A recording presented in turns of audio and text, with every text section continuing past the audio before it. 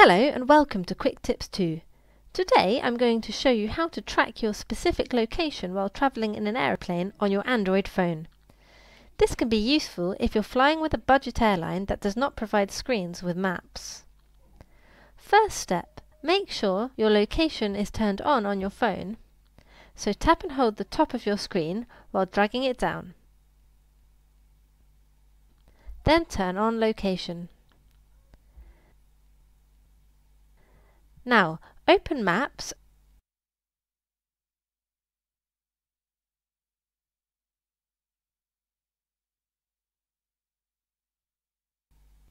and zoom out to show the areas between which you are travelling.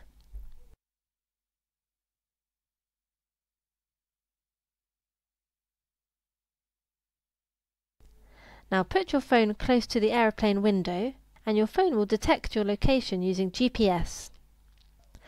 As you can see, the blue dot has appeared indicating the current location of the plane. A quick tip to track your location on an aeroplane. With Quick Tips To, knowledge has no limits.